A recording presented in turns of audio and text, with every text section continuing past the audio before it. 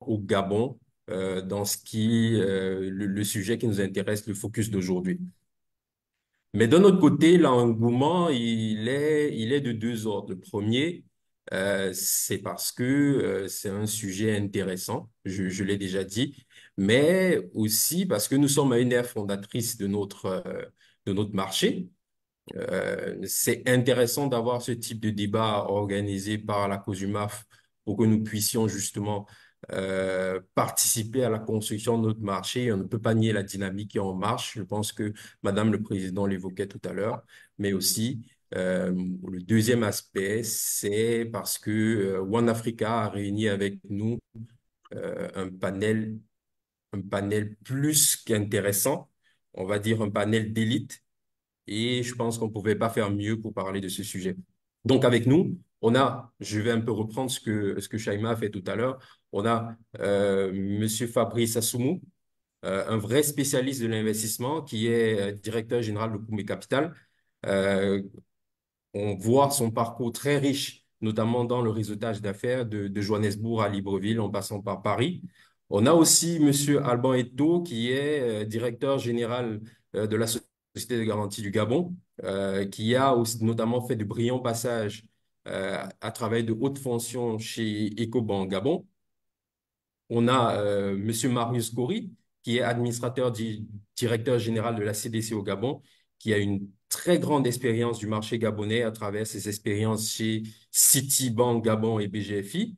Euh, on a Monsieur Louis Bangatolo que, j'ai du mal à présenter parce que pour les habitués euh, des débats sur, euh, sur le secteur financier, il nous a déjà longtemps abreuvé de son savoir et on pense qu'aujourd'hui, il ne fera pas exception.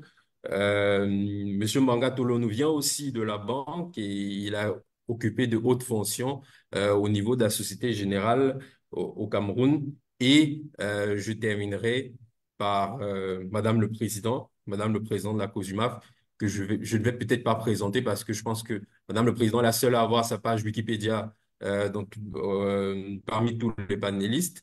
Euh, voilà, Madame, Madame le Président est dans c'est sous le, sur le marché depuis plus de 22 ans. Euh, c'est l'une de nos bibliothèques dans ce qui concerne le, euh, le développement du marché financier et nous allons avec grand plaisir l'écouter parler du développement du marché financier dans la sous-région. Donc, pour rapidement poser le contexte, nous allons nous tourner vers Monsieur Essono, qui va nous, euh, qui va répondre à une question simple. Comment va le Gabon? Et euh, comment les principaux secteurs de l'économie gabonaise se portent? Bonjour à tous et, euh, merci encore pour, euh, pour cette invitation. Euh, merci, monsieur le modérateur, pour cette question qui semble simple, mais qui n'est pas si simple que ça. Euh, je vais vous expliquer pourquoi. Euh, parce que, bien entendu, un, lorsqu'on parle des marchés financiers, on, parle également d'un miroir hein, de l'économie d'un, pays. Euh, donc, euh, dans la plupart des pays développés, comme vous le savez, hein, la santé hein, de leur économie dépend euh, en grande partie de la santé de, des marchés financiers, des marchés boursiers, etc. Donc, en ce qui nous concerne, évidemment, nous avons des marchés financiers qui sont pour l'instant moins développés, mais qui, d'une certaine façon, traduisent également euh, la situation de, nos économies. Donc, pour euh, entrer dans, le vif du sujet, euh, donc en ce qui concerne l'économie gabonaise, avant de présenter les secteurs, je pense qu'il faut parler dans l'ensemble de la résilience hein, de, de l'économie gabonaise. Comme toutes les économies, elle a été frappée par les différentes crises. Évidemment, nous avons toujours les crises géopolitiques, la guerre russo-ukrainienne, le conflit au Moyen-Orient, mais à cela s'ajoute également le ralentissement des économies asiatiques, notamment de la Chine, dû à une crise immobilière. Et il faut rappeler au passage que la Chine aujourd'hui est le principal partenaire commercial du Gabon.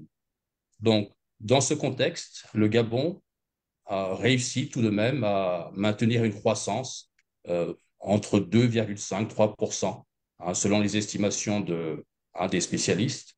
Euh, et c'est, pour ma part, je pense que c'est essentiellement dû à la diversité hein, des, ressources naturelles du Gabon, euh, puisque cette économie euh, s'appuie, notre économie, je devrais dire, s'appuie hein, sur euh, l'exploitation et la transformation hein, donc, des, des, ressources naturelles. Et donc, en commençant par le secteur le plus important, le secteur pétrolier, qui représente encore 40% hein, du PIB. C'est un secteur qui se porte bien et il a bénéficié euh, notamment de la hausse hein, des, cours mondiaux, euh, mais également du bon rendement hein, des, euh, des, champs matures et de la montée en puissance des, nouveaux puits. Donc, bien entendu, le, le pétrole va rester le, moteur de croissance de l'économie, hein, mais comme vous le savez, les autorités gabonaises, depuis plusieurs années, se, penchent sur la diversification de l'économie. Et donc, en plus du pétrole, nous avons bien entendu les, minerais, hein, le, principalement le, manganèse, qui certes connaît, euh, on va dire, une augmentation plus modeste. Euh, je crois qu'elle était de 1,2% lors du deuxième trimestre de, cette année. Hein, mais euh, le focus aujourd'hui est d'améliorer hein, les, les, inst les, installations d'extraction et, surtout de relever le défi logistique qui permettra de mieux évacuer donc, les matières premières. Donc, ces deux secteurs qui sont clés hein, sont, donc, portent l'économie gabonaise, euh, mais à ces secteurs, on doit ajouter le, secteur bois. Le secteur bois qui, euh, depuis une quinzaine d'années, a connu euh, beaucoup de transformations. Hein. Ça a commencé en 2009 par l'interdiction de, l'exportation de grumes, avec la volonté évidemment d'une plus grande transformation hein, localement. Cette stratégie a porté ses fruits. Aujourd'hui, le, bois on pourrait dire forêt-bois, puisqu'il s'agit d'une filière, hein, aujourd'hui contribue à peu près à 6% hein, de, notre PIB. Hein, et, euh, mais plus important, c'est le premier pourvoyeur d'emplois dans le secteur privé, en, environ 15 000 emplois. Et, euh, et, nous pensons que ce secteur sera un des piliers à l'avenir de l'économie gabonaise. Donc, vous, comme vous l'avez remarqué, j'ai beaucoup parlé de secteurs euh, qui s'appuient sur les ressources naturelles. Qu'est-ce que ça veut dire? Ça veut dire que nous avons un, un marché, une économie qui est tournée vers, euh, vers des marchés d'exportation. Euh, donc, ça veut également dire euh, que nous devons diversifier. Hein. Euh, dans la diversification, nous avons déjà vu dans l'agriculture de rente, hein, donc la production de, de, de palmiers, hein, essentiellement. mais d'autres comme le caoutchouc, l'EVA, comme on dit, qui, qui est là depuis quelques années aussi. Alors, lorsqu'on est tourné vers l'extérieur, il faut bien entendu avoir les infrastructures nécessaires hein, pour euh, non seulement valoriser localement, donc ces infrastructures, c'est l'énergie, hein, donc la disponibilité et surtout le coût de l'énergie sont très importants, et, bien sûr les infrastructures de transport, donc ferroviaires, euh, terrestres, euh, etc. Donc l'appui du gouvernement est nécessaire hein, dans, ce sens, c'est-à-dire de forts investissements sont faits euh, dans, les, infrastructures et, euh, et, cela se poursuit.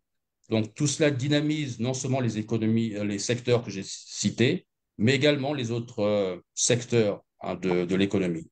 Hein, le commerce bénéficie bien entendu de ces investissements, mais le commerce, mais également, je dirais, les services de, façon générale. donc alors, vous remarquerez certainement que je n'ai pas cité euh, les services financiers, hein, mais je me dis que nous avons amplement le temps d'en parler. C'est bien entendu un des secteurs importants de l'économie gabonaise, euh, mais je pense que euh, nous aurons le temps d'aller dans le détail en, en, ce qui concerne. Donc, pour conclure, je pense que... Oui, allez-y. Oui, oui, allez-y, allez-y, allez-y, vous pouvez bon, conclure. Je m'apprêtais juste à conclure pour dire que nous sommes évidemment très, très optimistes hein, pour, euh, pour l'avenir euh, du Gabon. Hein. On, voit que le gouvernement fait les efforts nécessaires hein, pour, justement diversifier l'économie. Et le plus important, c'est qu'on ait plus de valeur ajoutée localement et ce que j'appellerais plus de complexité. C'est-à-dire que nous devons nous concentrer sur des secteurs d'activité qui euh, permettent non seulement hein, de, créer de l'emploi, euh, mais également d'être mieux intégrés aux chaînes de valeur globales. Euh...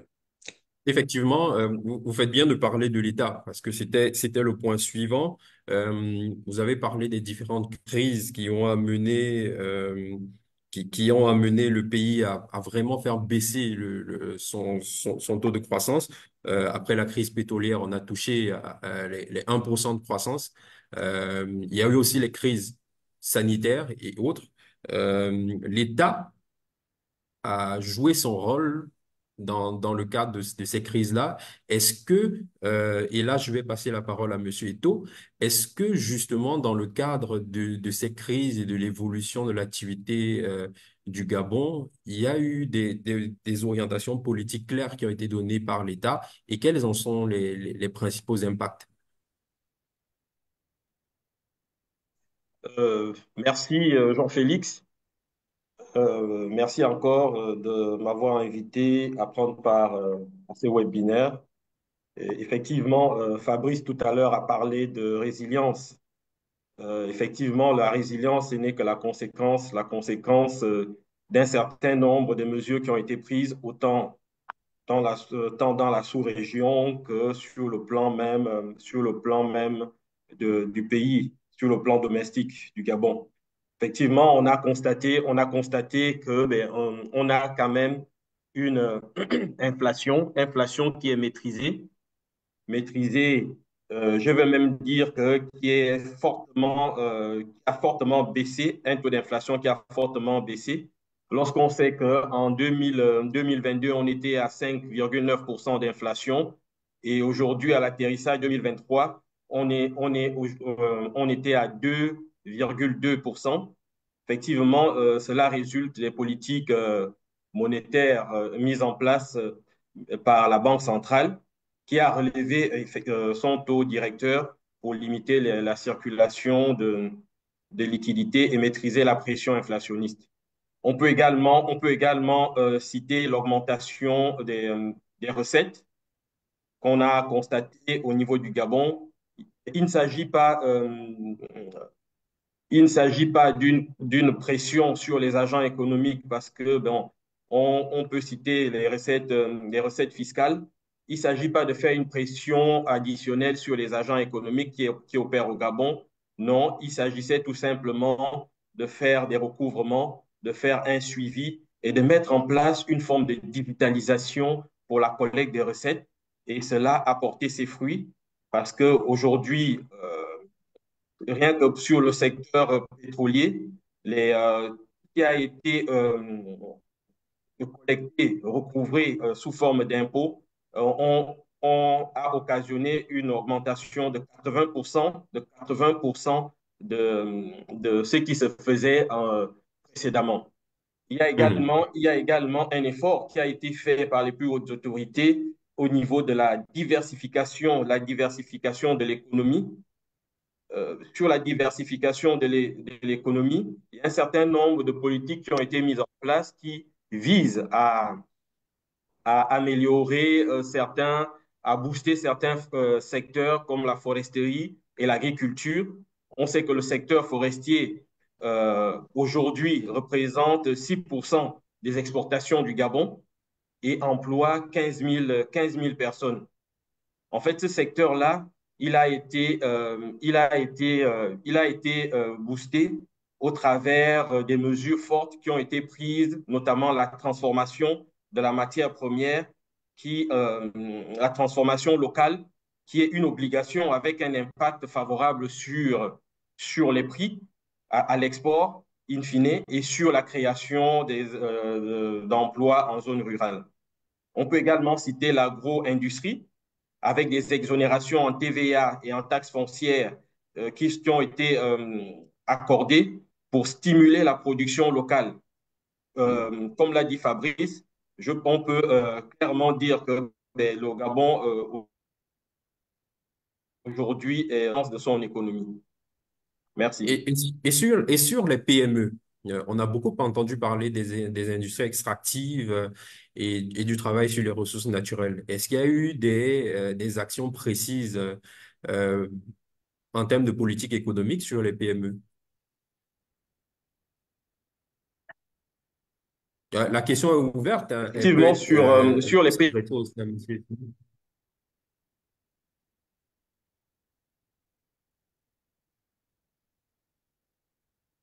PME, il y a, sur les PME, effectivement, il y a eu pas mal d'initiatives. Euh, Fabrice pourra compléter, Fabrice et Marius. euh, il y a eu pas mal d'initiatives qui ont été, euh, qui ont été lancées, notamment rien que la création de la, de la Société de garantie du Gabon, qui Mhm. effectivement permet aux PME d'accéder au marché financier, d'accéder au financement bancaire. Donc, je pense que c'est pas mal d'initiatives qui, qui ont vu le jour pour stimuler véritablement l'écosystème des PME. Euh, Fabrice parlera mieux de Okume Capital. Tout ça, ce sont, euh, ce sont euh, des initiatives qui ont été euh, euh, prises, qui ont été mises en place par les plus hautes autorités pour booster effectivement cet écosystème. Et, et on y reviendra tout à l'heure. Euh, effectivement, on voit que tout ce qui a été mis en œuvre a, a réussi quand même à, à, à mener une légère embellie. Euh, je crois que M. Assoumo parlait tout à l'heure de, de- d'un taux de croissance qui est remonté autour des, des 3%, qui tutoie vraiment les 3%. Mais en réalité, on sait qu'on a besoin de plus de croissance que ça. Euh, la zone CEMAC a besoin de plus de croissance. Le Gabon a besoin de plus de, de, de plus de croissance. On sait quand on regarde à côté euh, en Côte d'Ivoire, le Sénégal, le Togo, le Rwanda. On se situe à des taux de croissance qui sont entre euh, 6 et 10% euh, mais sans nécessairement transposer des réalités. On sait que les réalités ne sont pas les mêmes, qu'on soit en Afrique de l'Ouest, qu'on soit euh, dans la, zone des Grands Lacs ou, euh, en, Afrique centrale.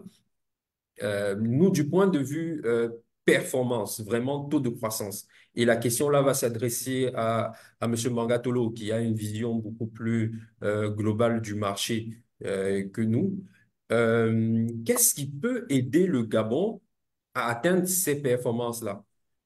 En, termes de niche, en termes d'opportunités, de, de défis? Alors, je vous remercie. Euh, je remercie euh, la COSUMAF de nous avoir conviés à cette réflexion.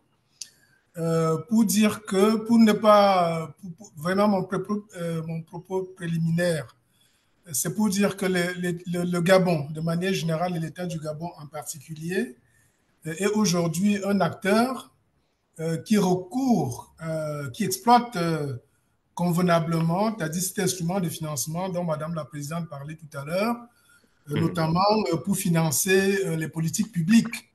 Mmh.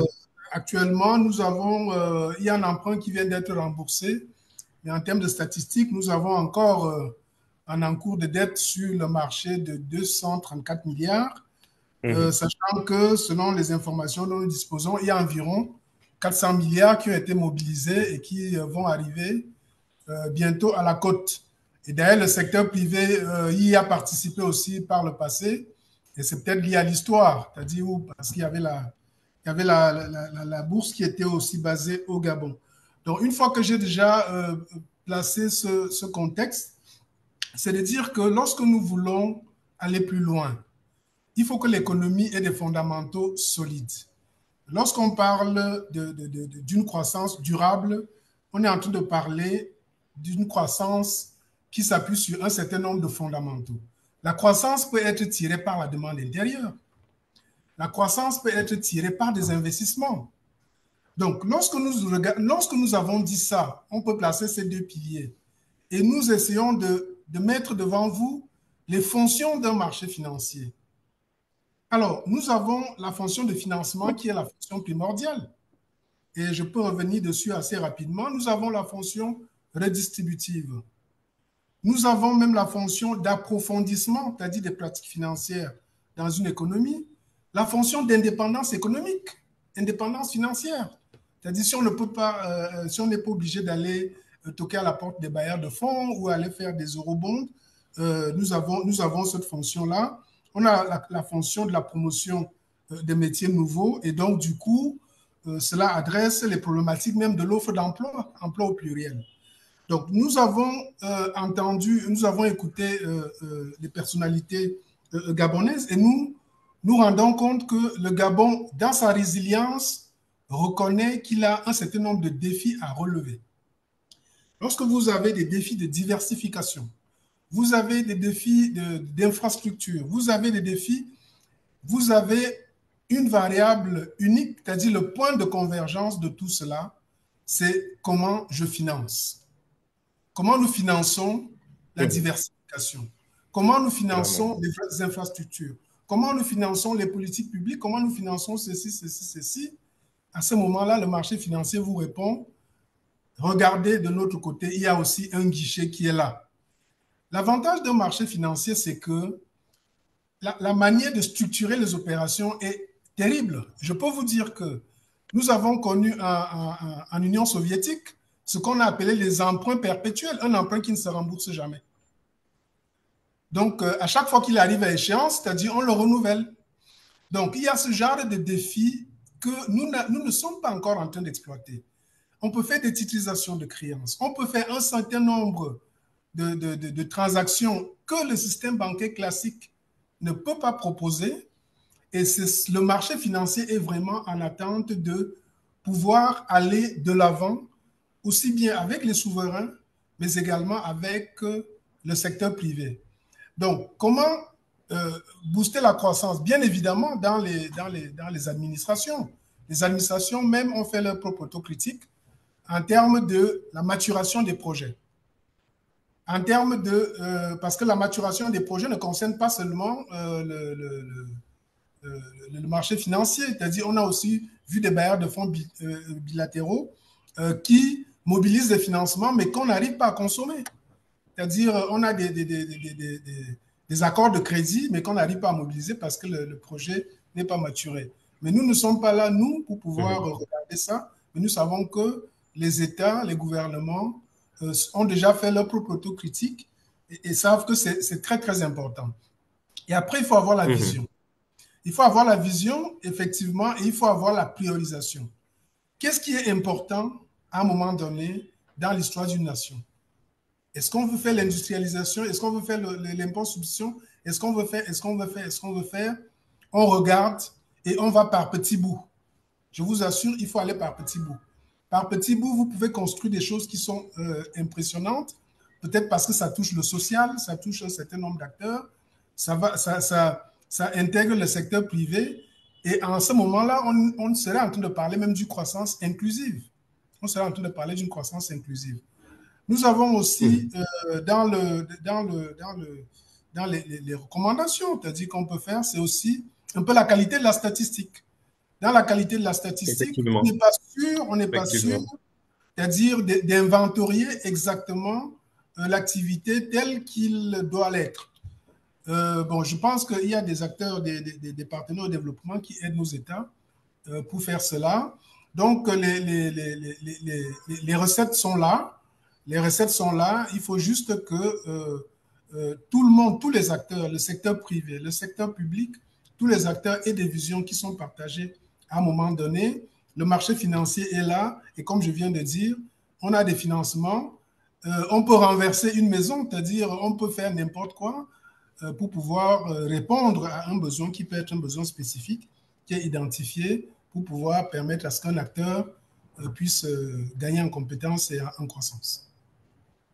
Effectivement, DG, euh, j'ai bien noté quelques points là. Euh, la nécessité d'investir, euh, la maturation des projets, le choix des projets, le, le, management de ces projets-là, les données. Et est-ce que sur ce point-là, Monsieur Cory, on aimerait bien vous écouter sur, sur le point de, des enjeux et des défis du, de l'économie gabonaise?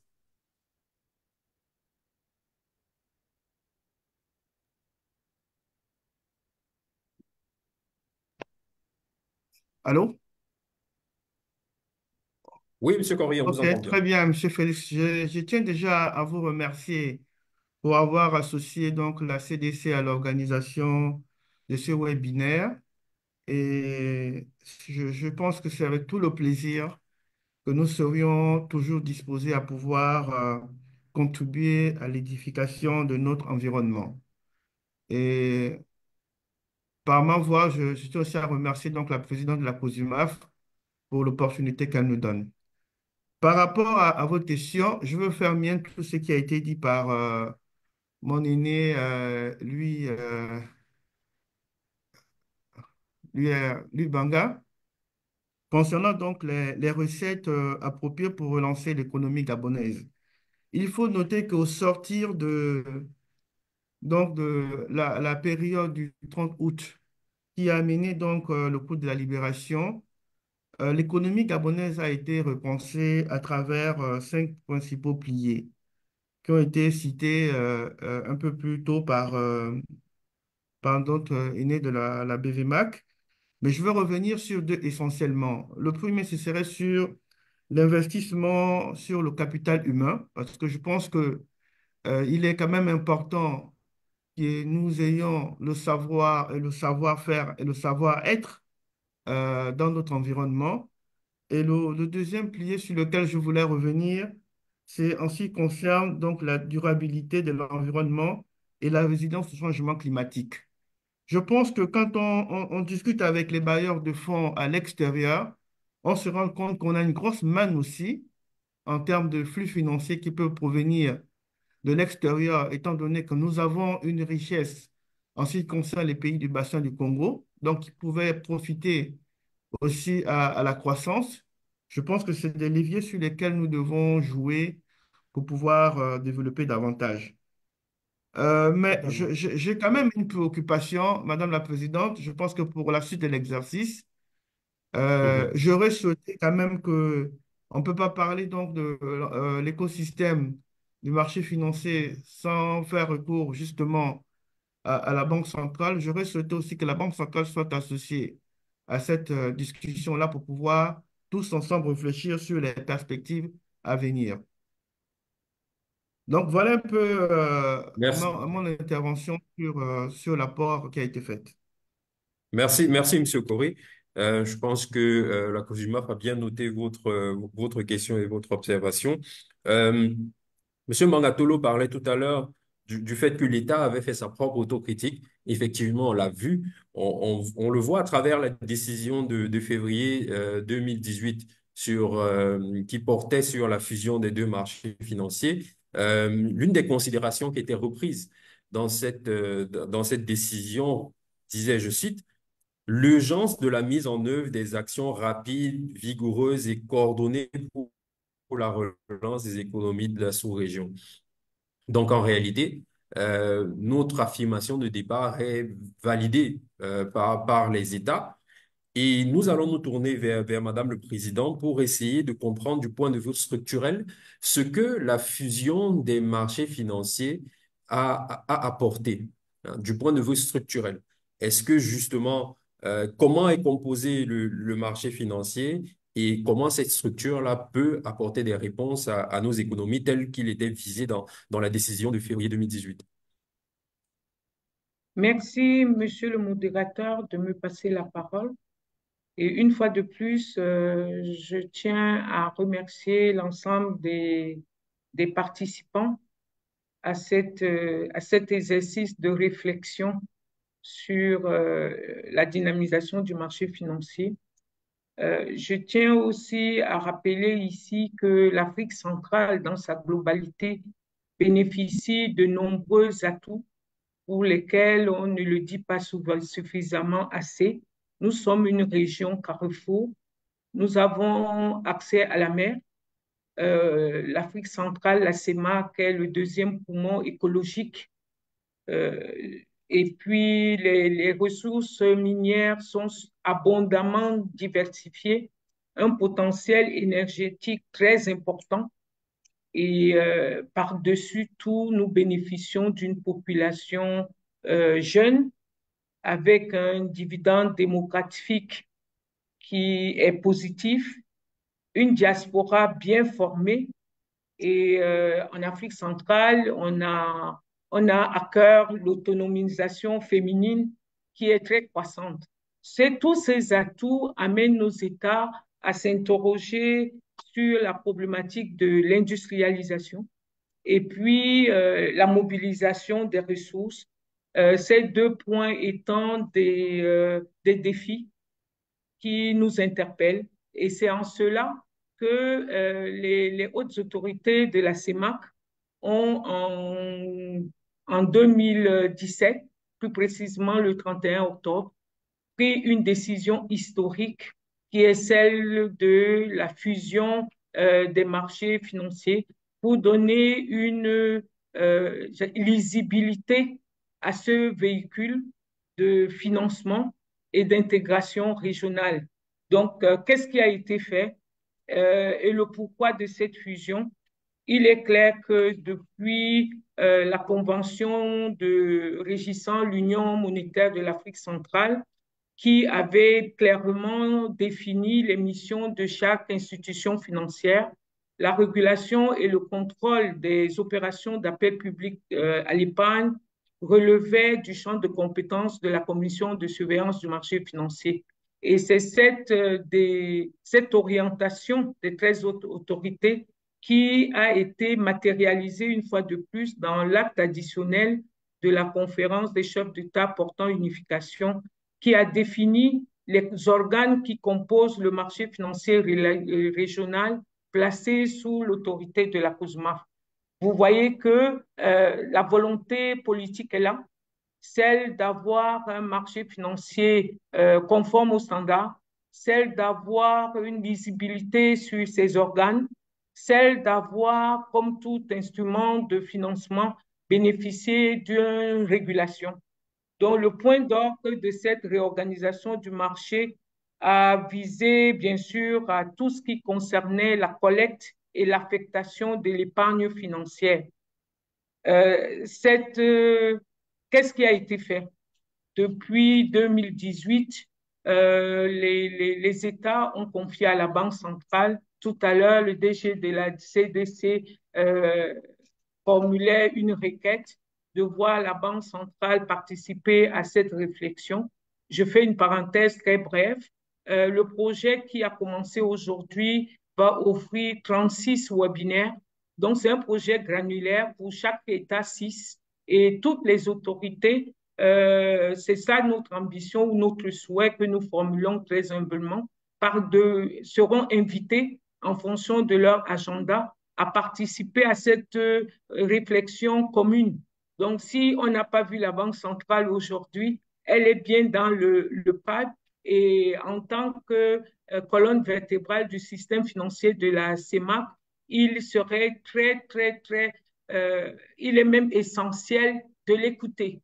Donc, pour revenir à la, la, la, la question qui m'a été posée, qu'est-ce que la fusion a apporté? La fusion a des organes qui sont aujourd'hui implémentés, fonctionnels, et qui euh, prennent en charge la, mission principale du marché financier, celle d'apporter une offre d'instruments et de produits euh, permettant à la fois la levée des capitaux, mais aussi la diversification de la base des investisseurs en termes de produits. Euh, L'appel public à l'épargne ou le marché financier s'entend tout produit de placement et de services financiers offerts au public, non bancaire bien entendu, ou mis à la disposition des opérateurs économiques et faisant appel public à l'épargne sur le territoire de la CEMA.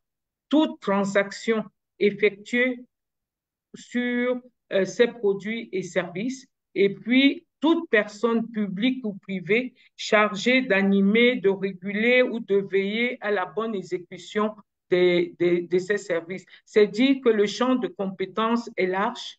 Il, il veille euh, à l'épargne investie en valeur mobilière, il veille au bon fonctionnement du marché, il veille à la qualité de l'information. Et depuis cette fusion-là, on a observé une grande forte appétence en termes d'acteurs, en termes de services, en termes de produits et comment cela s'est traduit.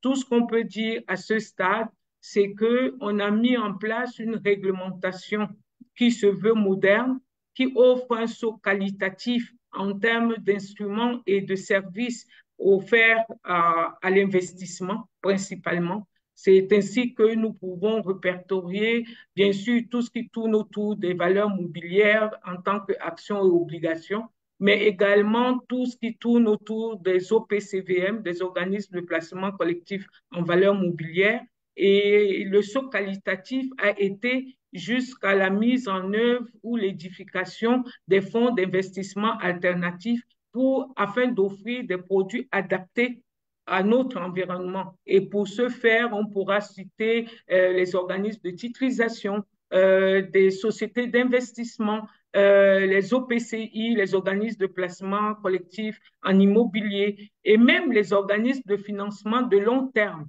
C'est dire que quand on mmh. regarde, j'ai suivi la discussion tout à l'heure sur les défis et en matière d'investissement, la COSUMAF a pris euh, bonne note de, des besoins en investissement de nos États et des opérateurs privés et a essayé au travers de sa euh, réglementation de, d'adapter ou d'apporter une réponse aux, besoins de, de, financement de nos États.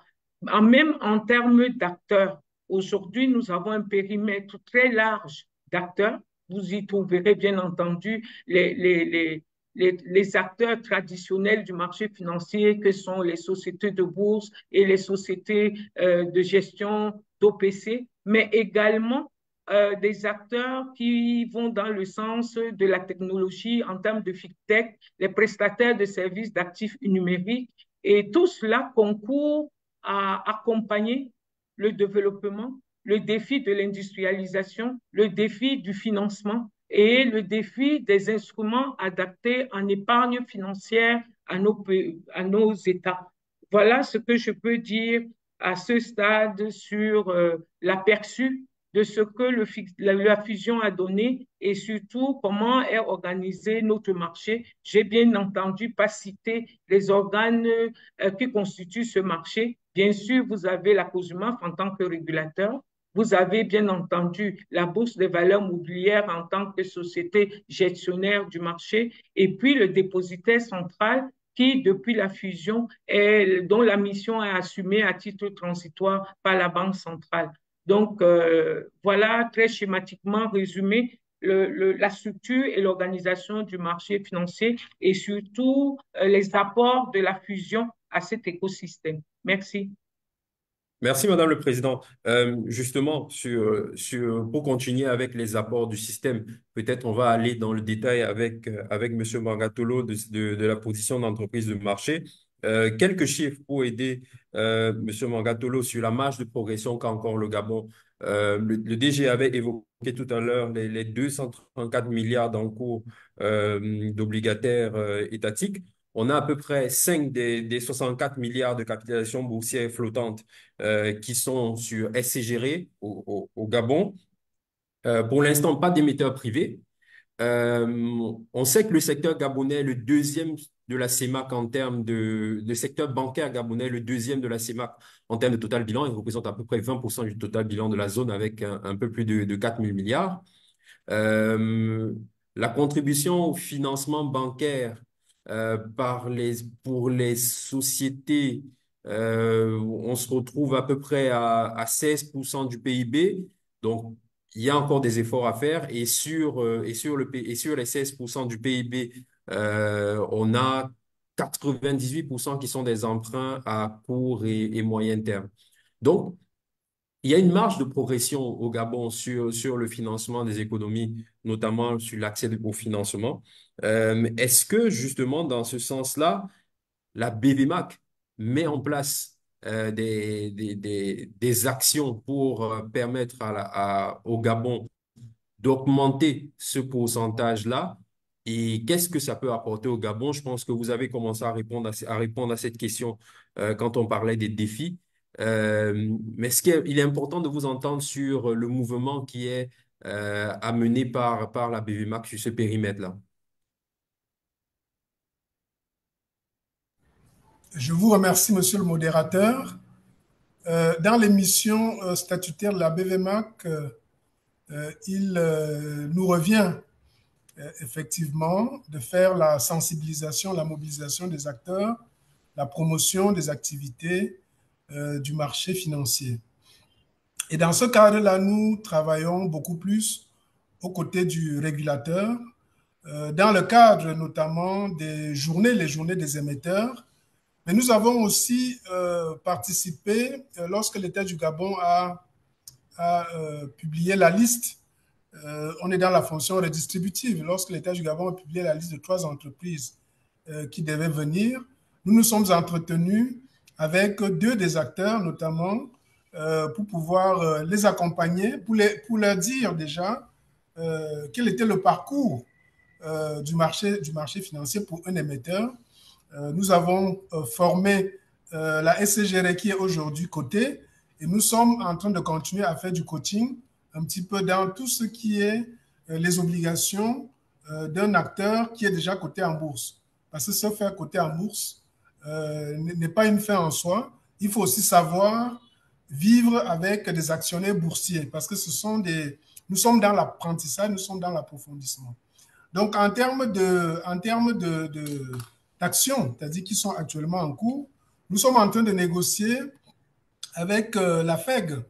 Nous sommes en train de négocier avec le président de la FEG d'intervenir, de venir faire une réunion de sensibilisation des acteurs privés parce qu'effectivement, comme vous avez, vous l'avez constaté, le secteur privé était un peu dynamique avant, au, départ, peut-être avant la fusion. Après, c'est un petit peu retombé. Euh, donc, euh, et nous avons euh, beaucoup apprécié à l'époque. Les entreprises venaient pour lever des fonds à des montants, à des tailles raisonnables du type 400 euh, millions, 1 milliard, 2 milliards, 3 milliards. c'est un mouvement que nous encourageons actuellement. Alors, lorsqu'on nous allons, lorsqu'on vous envoie de parler en tant que commercial, de parler à des acteurs, il faut savoir qu'est-ce que vous leur vendez. Alors, qu'est-ce que nous leur vendons? Nous leur vendons euh, un certain nombre de décisions qui ont déjà été prises par les autorités, notamment des, des incitations fiscales, même comme c'est un sujet qu'il faut approfondir, parce qu'avec le secteur privé, pas d'intérêt, pas d'action. Euh, il, y a, euh, voilà, il y a un règlement, il y a un règlement communautaire sur euh, les incitations fiscales, mais pour l'instant, qui est circonscrit à ceux qui font de l'IPO, donc de l'émission d'obligations, d'actions. Donc, si vous, si vous venez en titre de dette, vous ne bénéficiez pas de, de ce dispositif. Maintenant, c'est si vous ouvrez le capital, vous bénéficiez de ce dispositif. Donc, on, est, euh, on le vend cela. On le vend aussi euh, la, la, la, révision en cours de notre règlement général, dans lequel nous avons, avec le régulateur, essayer d'abaisser un certain nombre de conditionnalités sur les compartiments, euh, notamment au niveau du compartiment des petites et moyennes entreprises, où nous avons mis une opération à 50 millions. Euh, ça veut dire qu'en réalité, n'importe quelle petite entreprise peut faire une opération de marché. Et nous sommes aussi dans un cadre de réflexion, et on va discuter de ça avec les régulateurs, euh, pour pouvoir euh, imaginer euh, pour, garantir la réussite de ces opérations-là, d'imaginer ce que le, secteur bancaire a fait, c'est-à-dire de mettre en place peut-être un secteur, un service financier minimum, c'est-à-dire pour que les petits acteurs n'aient pas la, la, pression de la facturation des intermédiaires. Donc, qu'est-ce que nous, qu'est-ce que nous faisons? C'est-à-dire, on parle à des publics, que ce soit les, les publics d'investisseurs, on parle à des publics d'émetteurs, notamment privés et souverains, mais aussi à des entreprises privés, euh, publics qui ont été euh, listés par l'État du Gabon pour venir s'introduire en bourse. Bien évidemment, tu as dit c'est un travail de longue haleine, c'est un travail mmh. qu'il faut prendre très au sérieux. Euh, c'est un petit peu comme euh, le, le, fameux développement, tu as dit qu'il semble être un serpent de mer pour les, pour les pays africains. On, est, on est persévérant, on va essayer d'aller un peu plus vite au niveau du marché financier que peut-être le temps que euh, tous nos États se mettent à atteindre les, les, à, réaliser les performances sur les, leur trajectoire d'émergence. Merci DG. Effectivement, c'est un vrai sujet. Euh, L'accès au financement à long terme pour les PME, euh, comme on le disait, il n'y a pas beaucoup par rapport à, quand on compare par rapport au PIB gabonais euh, de crédit qui est attribué au, au, au, secteur privé, à l'économie privée. Et on a plus de 80, 18% de, de ces crédits-là qui sont alloués au, à court et à moyen terme. Donc, il y a un vrai sujet sur le financement à long terme. On a compris euh, qu'il y a des actions qui sont mises en place par, par la, la BVMA pour pouvoir euh, aider euh, le secteur privé sur, ce périmètre-là. Donc, ce serait intér intéressant à, entendre. Euh, maintenant, du point de vue de chaque acteur, on va essayer de, de, voir ce que chaque acteur individuellement. On va commencer par le FGIS, le Fonds gabonais d'investissement stratégique, apporte euh, au secteur financier et apporte à la croissance par, là. Donc, on va commencer par le DG Ekoumé, le DG d'Ekoumé. Euh, est-ce que, euh, Monsieur Essono, qu'est-ce que euh, Okume Capital apporte au secteur financier et à la croissance du Gabon? Euh, merci beaucoup. Euh, mais avant de répondre, j'aimerais reprendre une statistique, euh, ou plutôt présenter une statistique euh, sur le crédit domestique privé. Hein, vous avez dit justement qu'il n'était pas très important. Il est environ de 14% du PIB hein, en République gabonaise, et Mhm. euh, alors que la moyenne d'Afrique subsaharienne est à peu près de 36%. C'est Donc, ça. vous parlez justement des, des efforts à effectuer. Ben, justement, ces efforts doivent se concentrer sur euh, euh, les, les sources. Enfin, les- donc, euh, il est important de, de mobiliser hein, l'épargne, l'épargne publique hein, et privée. Et il faut la mobiliser à partir d'instruments, d'instruments innovants. Donc, et ça m'amène justement à votre question. Euh, Okume Capital est une société de capital investissement. Et la caractéristique d'une société de capital investissement est euh, bien entendu d'investir, de prendre des participations hein, dans, dans des entreprises privées. Donc, ces prises de participation ont pour objectif euh, de, de renforcer hein, le, le haut de bilan. Euh, ce haut de bilan étant renforcé, l'entreprise est en meilleure position pour obtenir justement un financement à long terme. Et euh, il est important aussi de comprendre que parce que nous avons un horizon d'investissement qui est bien déterminé, en général 5 à 7 ans, hein, nous devons euh, envisager dès le départ, hein, c'est-à-dire dès le début d'une transaction, euh, les options de sortie. Donc, ces options de sortie sur d'autres marchés hein, se font via des introductions en bourse. C'est beaucoup plus rare euh, en général en, Afrique subsaharienne, à, l'exception peut-être de l'Afrique australe. Et euh, pour nous, justement, ce que nous pouvons apporter, euh, c'est justement une professionnalisation ou donc une préparation hein, des, entreprises, des PME, hein, qui, en travaillant avec un fonds d'investissement, justement, se professionnalisent déjà dans la qualité hein, de l'information qu'elles produisent. Ça, c'est un premier plan. Et également dans les plans de développement hein, qu'elles nous présentent, puisque c'est l'évaluation de ces plans de développement qui motive hein, notre, décision d'investissement. Donc, c'est le premier point. Alors, on a parlé tout à l'heure hein, du rôle du régulateur en ce qui concerne la promotion de l'éducation financière, euh, veiller à la protection des épargnants. Euh, mais il faut également parler, euh, j'ai envie de dire, de, la nécessité de, d'encourager les entreprises emblématiques euh, pour s'introduire en bourse.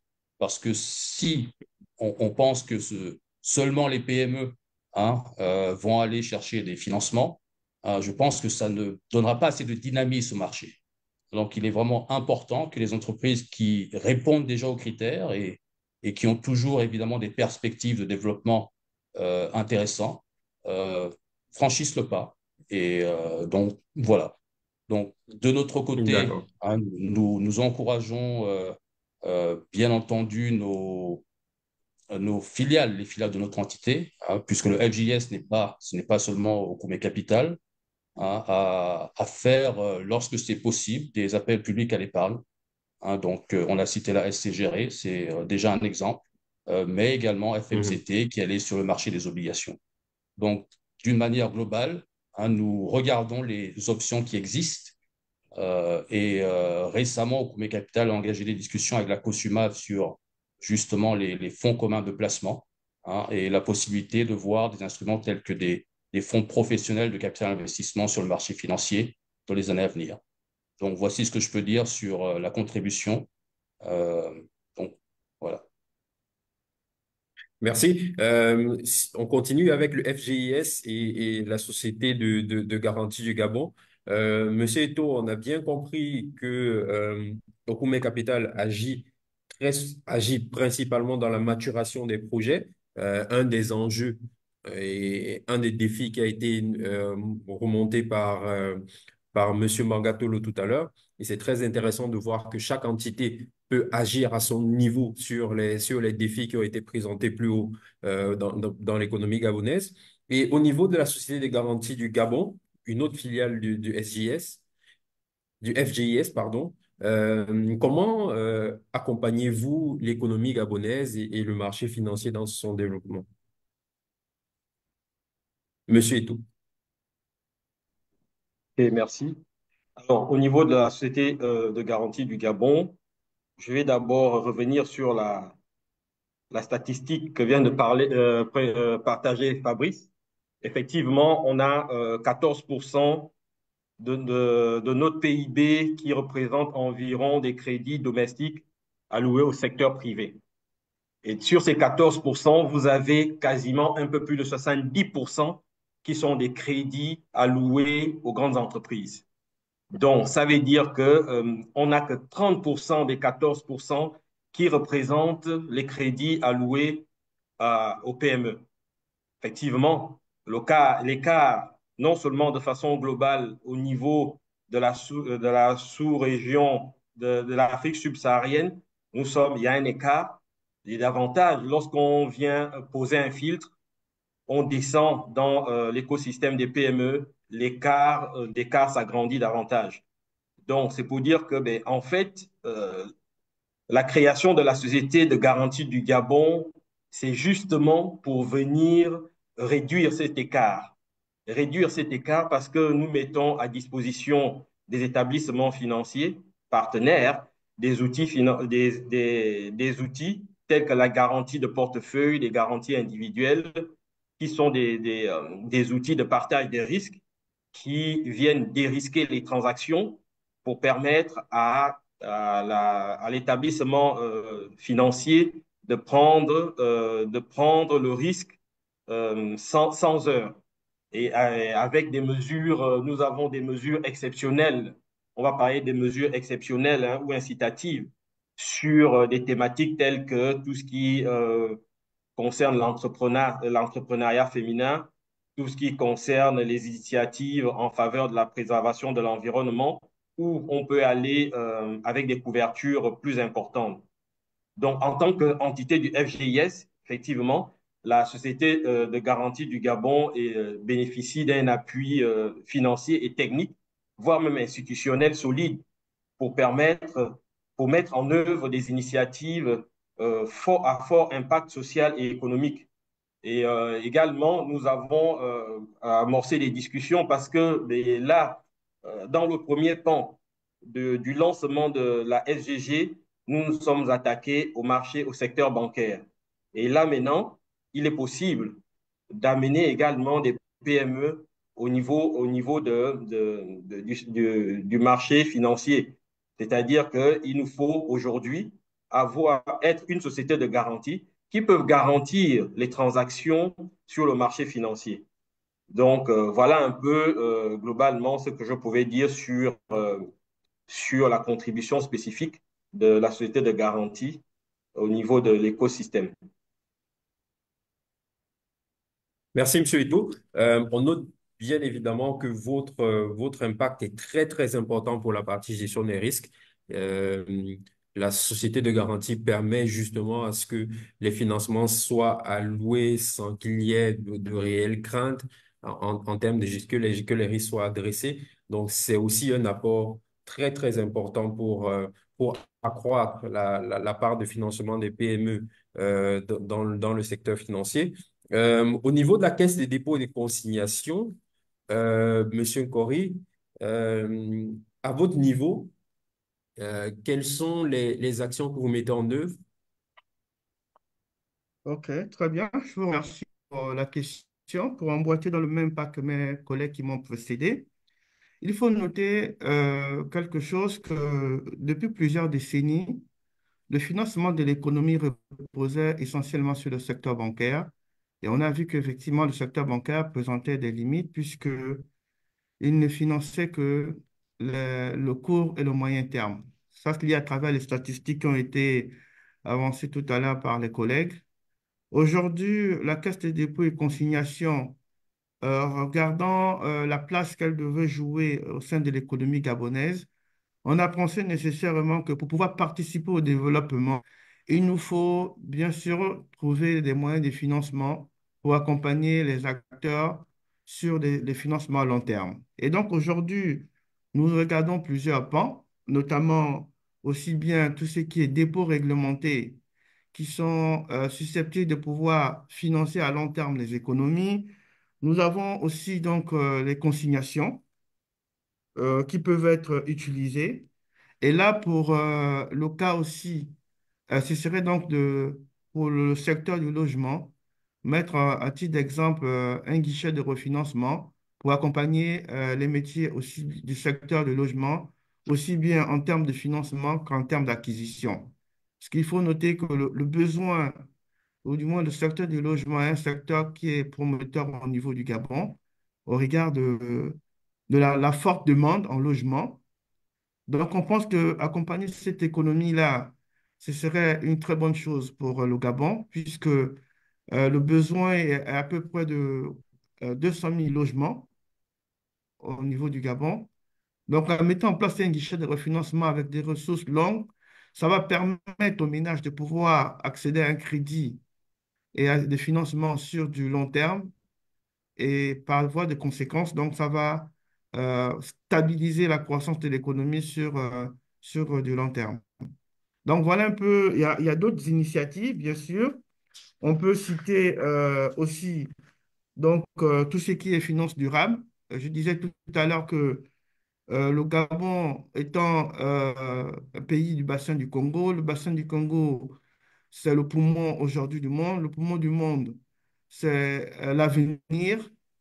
Il y a énormément de financements qui sont mis en place, aussi bien par le GAFI que les autres acteurs donc, de financement vert. Donc aujourd'hui, il nous revient de mettre en place des mécanismes au niveau régional pour aller recueillir ces fonds pour pouvoir faciliter et financer le développement de nos économies. Donc voilà un peu ainsi résumé euh, la part balle qui revient à la CDC dans l'apport dans le développement de l'économie gabonaise.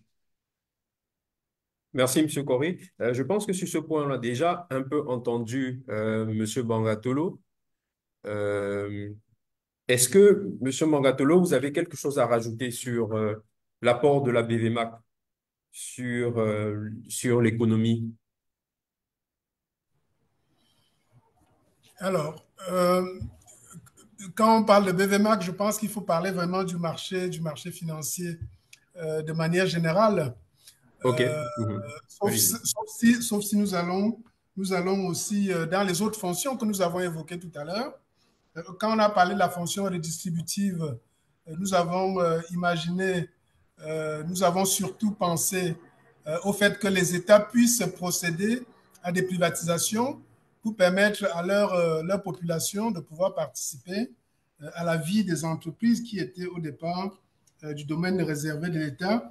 Mais gravite autour de la BVMAC un, un, écosystème d'acteurs qui permettent à ce que nous ayons dans notre sous-région l'approfondissement des pratiques financières nous ayons dans notre sous-région qu'il n'y ait plus de tabou.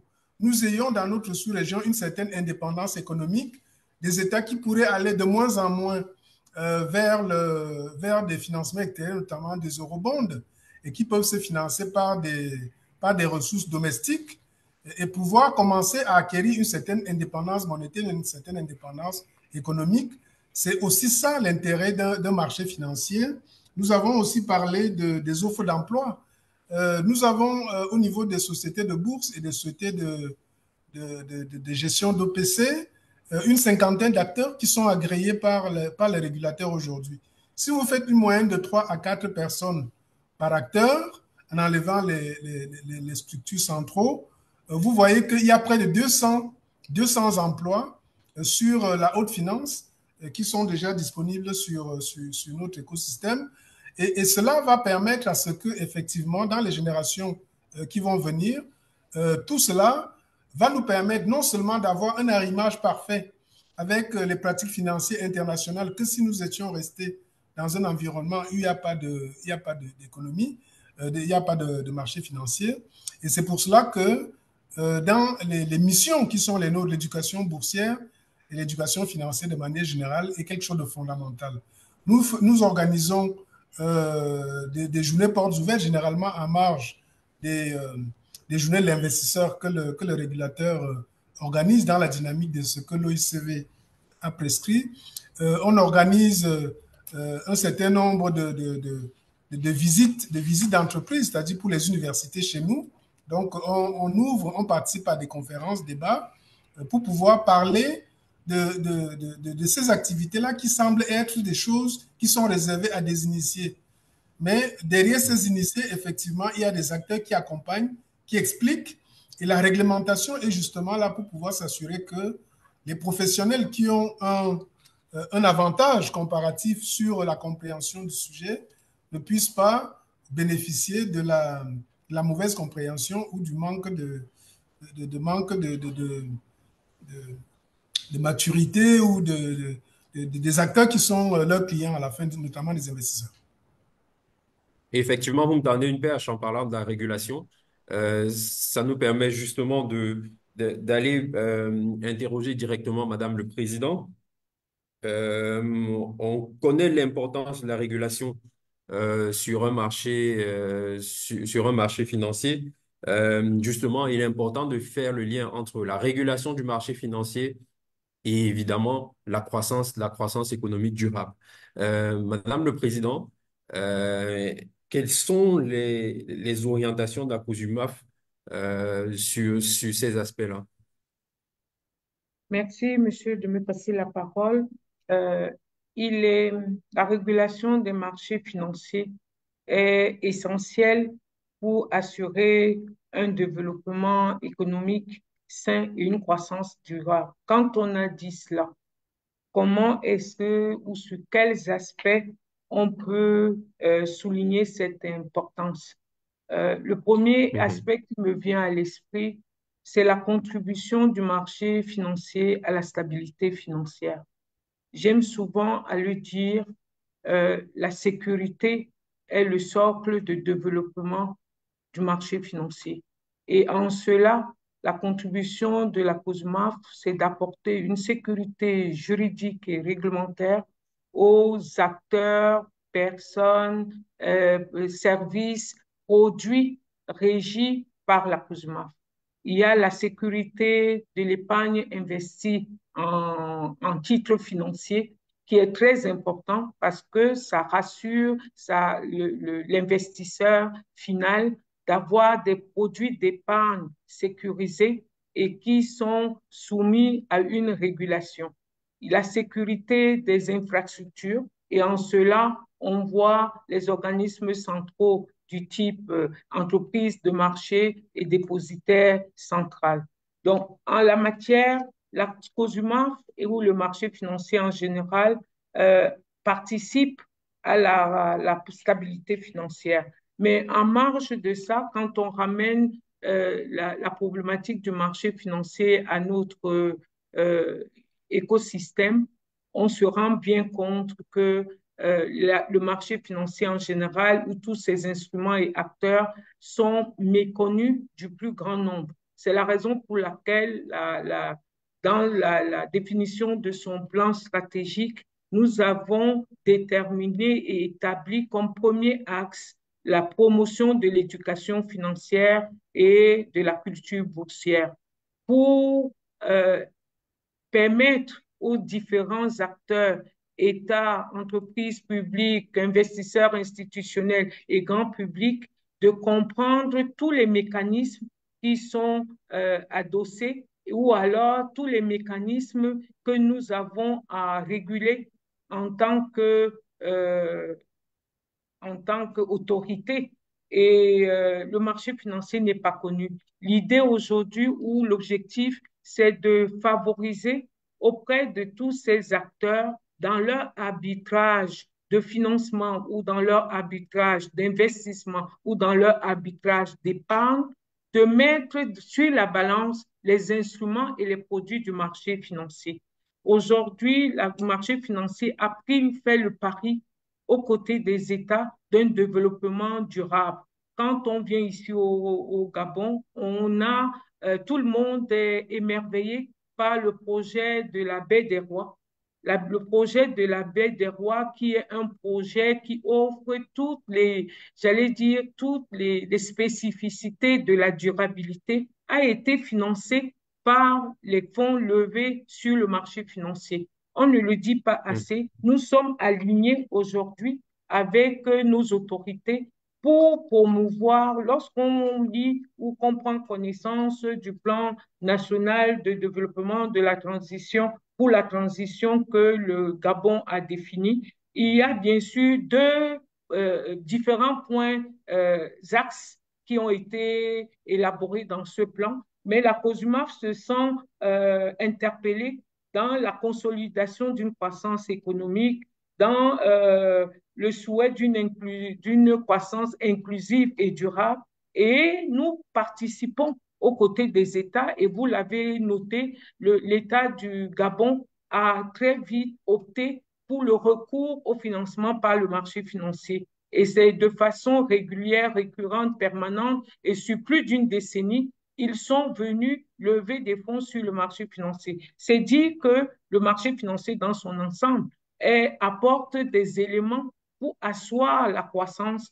Et puis, très récemment, le marché financier, comme l'a dit tout à l'heure le directeur général de la Bourse, nous avons pour mission de créer un écosystème en termes de capital humain, en termes de professionnalisation, en termes de sensibilisation de la jeune génération pour s'orienter vers ces métiers. Et, en cela, nous participons aussi à la à l'amélioration de l'emploi. Donc, euh, il y a un certain nombre de points, mais le point central aujourd'hui, du point de vue du régulateur, c'est de sensibiliser et de contribuer au développement d'une culture financière, d'une culture boursière adressée à différents canaux en tant qu'émetteurs, les entreprises publiques et privées, en tant qu'investisseurs, le grand public, les investisseurs euh, institutionnels. Mais pour ce faire, l'écosystème de marché est bien, tout, bien, bien sûr euh, euh, appuyé par les intermédiaires agréés des professionnels de la finance de marché, euh, les sociétés de bourse, les sociétés de gestion qui délivrent en fait au quotidien, opérationnalise, euh, pardon, opérationnalise, dirais-je, tous les mécanismes que la réglementation du marché financier a, édictés.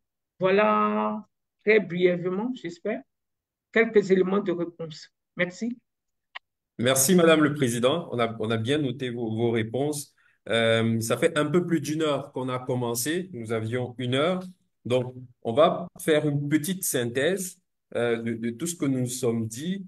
Euh, nous avons commencé par un peu poser le, par un peu poser le contexte de, de, de l'économie gabonaise, euh, justement très, très influencée par, par l'industrie extractive et, et tout ce qui est exportation de, de, matières premières. En termes de, de défis, on a compris euh, que pour financer la croissance, il faut de l'investissement, il faut choisir les projets, réussir à les maturer, euh, choisir les bons projets, avoir des données euh, pour pouvoir, pour pouvoir piloter ces projets-là. On a noté aussi euh, une statistique qui, était très importante pour, euh, euh, tous nos intervenants du FGIS et que moi aussi j'avais évoqué un peu avant, peut-être avec un, léger détail différent, 14% de, de, des crédits bruts voilà, des crédits euh, qui, 14% du PIB euh, qui étaient euh, octroyés comme, comme crédit à l'économie privée, euh, vraiment très bas, avec une grande partie de ces crédits-là, pratiquement la totalité, qui était sur des crédits qui est sur des crédits à court et moyen terme. Comment justement ces acteurs-là s'assurent que on, le secteur financier privé, le secteur privé a plus accès au financement. On a euh, la maturation des projets, euh, justement par, euh, le biais de Okume Capital, qui est un acteur du capital risque, donc ils aident à la maturation des projets. La gestion de risque à travers la Société des garanties du, du, du Gabon, la Caisse des dépôts et consignations qui participe au financement à long terme de l'économie, la BVMAC qui, elle, structure l'offre et la demande, aide aussi à éduquer euh, le marché. la, la COSUMAF aussi qui participe à, à la culture financière et, et, boursière et aussi nous assure euh, la sécurité et la confiance au, marché financier par le biais de, de la régulation. Donc, je vais euh, faire un dernier tour de table, si possible. On n'a qu'une seule question par- pour l'instant au, au niveau du chat. Je vais faire un dernier tour de table pour, pour les conclusions. Euh, on va commencer par euh, Monsieur Assoumou. Monsieur Assoumou Essono. Euh, au regard de tout ce qui s'est dit, est-ce que euh, vous avez euh, un point à rajouter euh, en termes de conclusion à, à cet échange? Alors, pas un point particulier à rajouter, mais euh, plutôt une observation. Euh, c'est-à-dire lorsqu'on parle justement de, de tous ces défis, on comprend bien qu'il ne s'agit pas euh, en fait d'actions euh, individuelles hein, qui doivent être menées par euh, une institution ou une autre. Euh, il s'agit vraiment de trouver les, les synergies hein, au sein d'abord de, bah, des institutions qui existent, hein, des différents acteurs donc euh, du système financier. donc le marché financier étant genre une, une composante et comment tous ensemble nous pouvons dynamiser, hein, comme euh, ce que je disais tout à l'heure, c'est-à-dire euh, euh, capter, canaliser hein, donc l'épargne nationale Hein, C'est, vraiment important. Mais surtout, comme Madame la Présidente a, insisté, c'est développer la, culture, l'éducation financière, pas simplement pour les individus, mais également pour, pour les autres agents économiques, les entreprises, etc., qui, qui, qui va permettre justement cette, euh, cette volonté, enfin, qui va favoriser, je devrais dire, cette volonté hein, d'accéder au, au marché financier et, euh, et pour moi, c'est, vraiment euh, ce genre d'exercice euh, montre à quel point nous sommes complémentaires. Hein, nous, nous avons tous parlé des, des défis euh, qui sont parfaitement compris par, euh, par tous les acteurs. Et, euh, et donc, euh, la dernière observation, c'est simplement dire qu'il faut euh, plus de collaboration. Il y en a déjà, mais, mais davantage. Hein, donc, plus de vulgarisation. Et, euh, et c'était un plaisir de partager euh, aujourd'hui euh, donc cette cette séance avec les copanélistes. Et, bien entendu, nous, nous sommes ouverts à, d'autres collaborations, d'autres participations, aussi bien online que, que, qu'en présentiel. Donc, voilà ce que j'ai à dire. Effectivement, Merci. monsieur- effectivement, Monsieur c'est, marquant de voir la complémentarité entre toutes, euh, entre toutes ces institutions et aussi la cohérence entre les défis qui ont été évoqués plus haut et justement les, les différentes actions, les, les, les- le- la raison d'être de, des, des institutions qui sont autour de la table. Euh, Monsieur Eto, un, un mot de la fin? Écoutez, euh, tout simplement vous dire merci et euh, tout en espérant que ben, euh, à l'issue à l'issue de ce webinaire, qu'on pourra éventuellement s'asseoir pour essayer un peu de, de drafter quelque chose qui pourra aller dans le sens de l'organisation, la synchronisation de nos, de nos actions. Donc, euh, comme l'a dit euh, Fabrice, le mot d'ordre ici, c'est créer la synergie. C'est la synergie qu'il faille créer entre tous les, les intervenants pour que, in fine, que ce soit la sous-région de l'Afrique centrale qui en sorte bénéficiaire. Donc voilà un peu mon dernier, euh, mon dernier mot, ma conclusion. D'accord. Merci, Monsieur Eto. Euh, Monsieur Cory? OK. C'est juste dire un merci à Madame la Présidente d'avoir euh, initié euh, cette réflexion donc autour des, principaux acteurs de l'écosystème. Et j'ose espérer, comme elle a dit tout à l'heure, que c'est le début d'une longue série pour pouvoir euh, recréer un nouvel écosystème, bien sûr, basé sur euh, l'expérience aussi bien de la COSUMAF que de la BVMAC. Aujourd'hui, nous avons tous intérêt à, à mettre en place des mécanismes nouveaux. Nous avons intérêt à démontrer aux populations et au marché que nous avons des mécanismes similaires à ceux que nous voyons à l'extérieur donc dans les autres zones. Nous avons aujourd'hui les ressources pour pouvoir le faire, donc il nous faut juste aller de l'avant. Et je pense que la COSUMAF, la BVMAC et la Banque centrale sont les mieux placés pour pouvoir prendre le lead sur le sujet. Et nous, en, en backup, que ce soit le FGIS, euh, le Fonds de garantie ou la, CDC et les autres acteurs, on serait justement disposés à pouvoir euh, innover notre écosystème économique et financier. Merci pour l'organisation et merci pour tout. Merci beaucoup, Monsieur Corey. Euh, Monsieur Borgatolo. Merci, Monsieur le modérateur. Euh, je veux me permettre d'invoquer euh, euh, une phrase que j'ai trouvée dans la Bible. Mon peuple périt par manque de connaissances. Quand vous, quand vous, vous regardez un petit peu la jeunesse africaine, ses valeurs, les choses qui leur font envie, tout ce qui est high-tech, Elon Musk, aller, aller dans le dans l'espace, avoir, des voitures électriques. Quand on parle des capitaines d'industrie, les success stories, est-ce que vous savez que c'est le marché financier seul qui est en mesure de dire cela? Ça veut dire que Elon Musk, on dit, il pèse 1000 milliards de dollars. Mais il peut être incapable de vous acheter du pain parce qu'il n'a pas un franc dans son compte, dans son compte de chèque. Mais c'est la valorisation de toute sa fortune, de tout ce qu'il détient. Et cette valorisation-là n'est faite que par un seul acteur, c'est la bourse. Donc, je me pose des questions. Est-ce que nous sommes, parce que la bourse, le marché financier, nous sommes dans un plaidoyer qui commence à prendre un certain temps, une vingtaine d'années. Euh, je me retourne souvent vers des collègues qui ont des comptes à la banque et qui sont euh, une certaine élite pour dire que euh, pourquoi nous devons être dans la posture de, des gens qui prêchent euh, comme si euh, vous devez avoir pitié pour pouvoir adhérer. Pourquoi l'adhésion ne vient pas de manière automatique? Pourquoi les gens ne comprennent pas que si les gens comme les Dangote, les Dan Poulo sont devenus célèbres, ils sont devenus célèbres par leur fortune, et on n'est pas en train de parler de leur compte bancaire, mais on est en train de parler des actifs valorisés sur les marchés boursiers.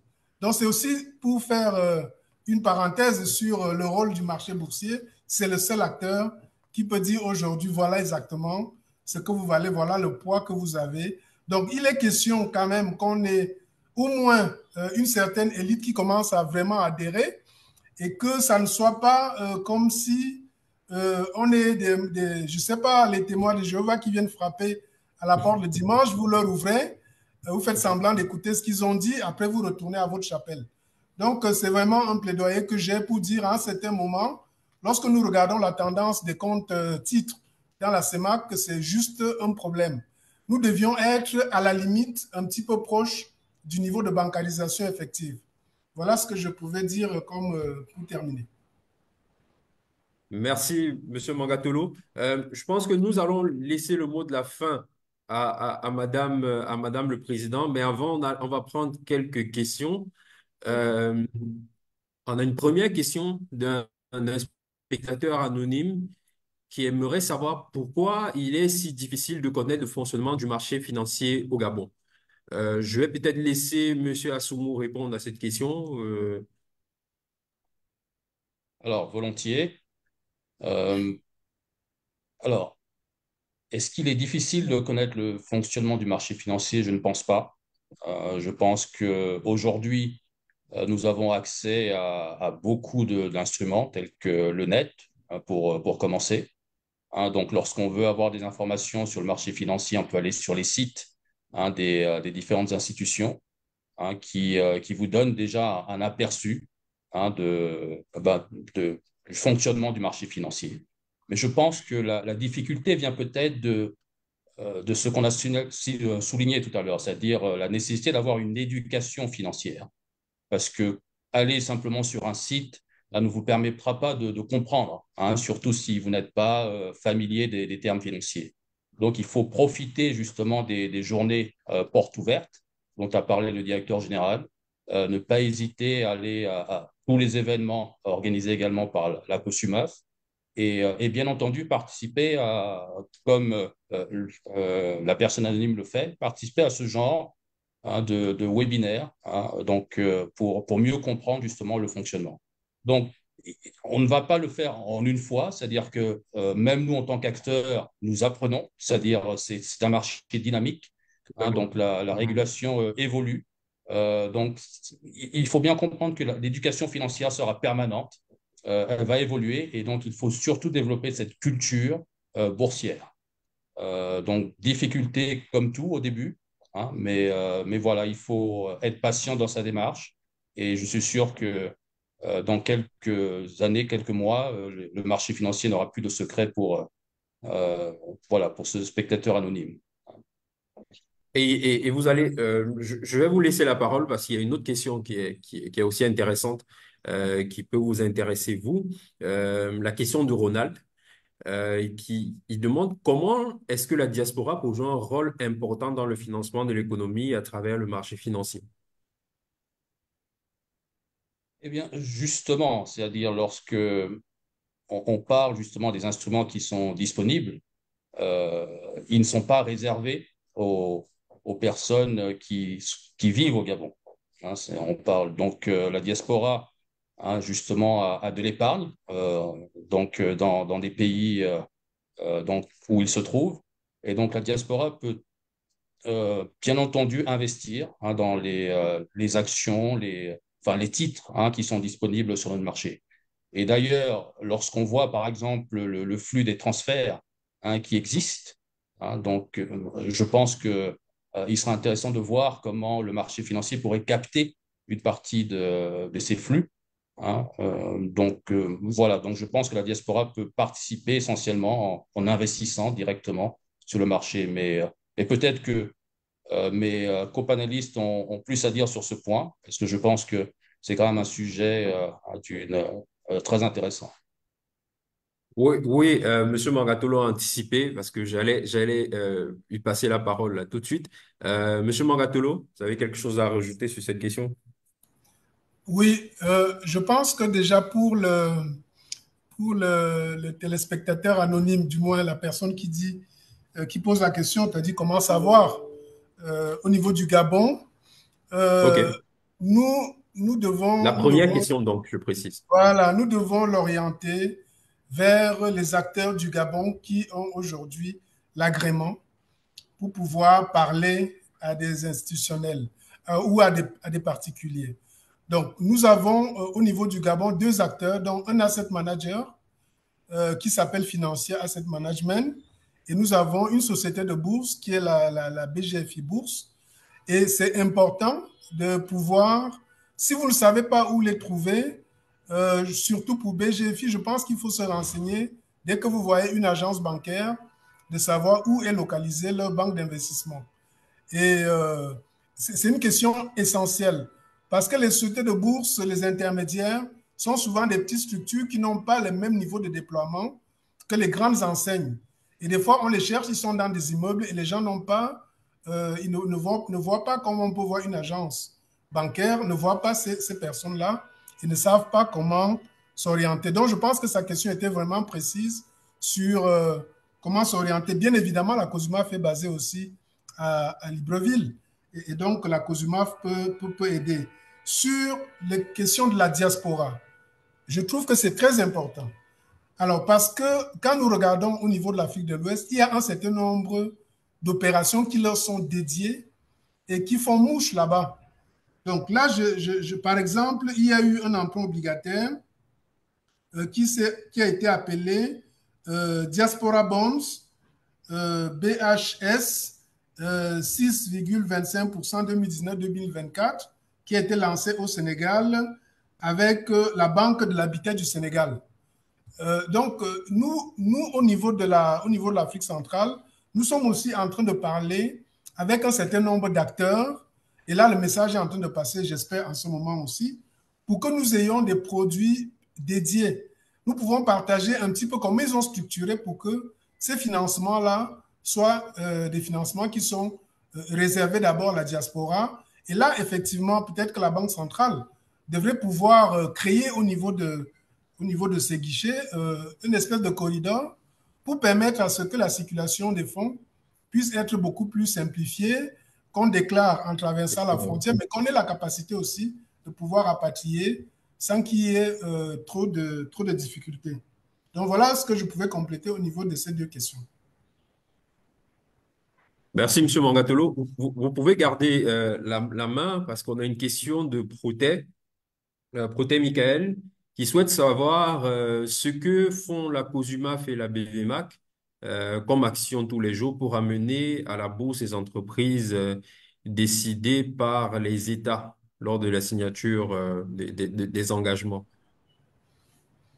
Alors, certainement, Madame la Présidente, même comme elle dira le mot de fin, je pense mhm, qu'elle va appuyer nos propos à ce niveau parce que je peux vous assurer qu'elle en a organisé, hein. c'est-à-dire euh, par pays, euh, des rencontres assez, assez, assez houleuses avec, euh, avec ces entreprises-là, y compris en intégrant leur tutelle. il n'y a pas longtemps, au mois de mai, elle était à Douala, à Yaoundé, avec l'AFD, où nous avons parlé aux entreprises camerounaises, les quatre entreprises camerounaises qui ont été shortlistées, pour essayer de comprendre quels sont les points de blocage. Et je vous assure qu'on en trouve malheureusement beaucoup et qui ne sont pas de, l'inertie au niveau de l'État central, mais qui concernent parfois des, mandataires sociaux, euh, administrateurs, des fois direction générale, qui ont un certain nombre de réticences parce qu'ils se disent que c'est un sauvel inconnu.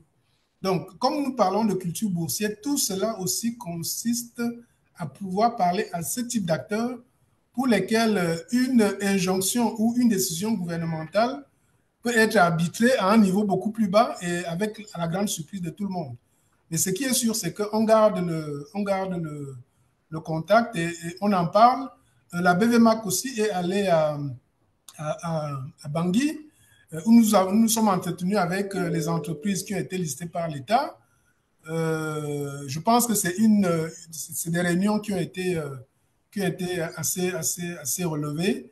Et, donc, en fait, nous ne pouvons pas, euh, on ne peut pas aller, euh, aller, euh, aller beaucoup plus loin, mais ce que je peux dire, c'est qu'au niveau du Cameroun, par exemple, il y a déjà une des entreprises qui a déjà commencé la sélection de ces, de, ces intermédiaires, donc des sociétés de bourse censées l'accompagner dans, la, dans, le, dans la structuration de cette opération-là.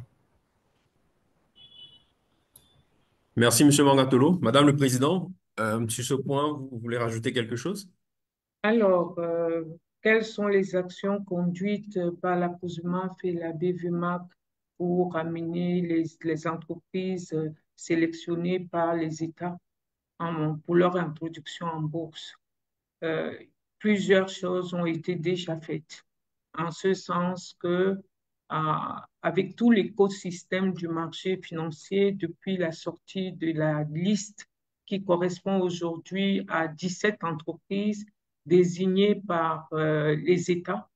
Deux sont déjà cotées, donc SCGR et euh, la, la Banque en Guinée équatoriale, SCGR au Gabon et la Banque. Et pour les 15 août, des actions, j'allais dire, permanentes sont euh, conduites au niveau de chaque État, Guinée équatoriale, Congo, Bangui, Gabon et euh, Cameroun, pour que ensemble, parce qu'il y a eu la décision euh, politique, les États ont manifesté leur intérêt et leur volonté de mettre en œuvre les mesures d'accompagnement à la dynamisation du marché en désignant sous l'égide de la Banque centrale qui euh, supervise toujours le projet euh, la liste des entreprises susceptibles d'être améliorées à, à, à, chaque fois.